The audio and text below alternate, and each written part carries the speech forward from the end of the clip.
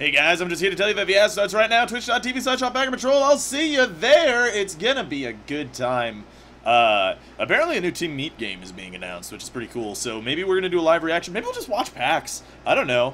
Whatever. Come on by to my channel. See what happens. Twitch.tv slash Patrol. I'll see you there.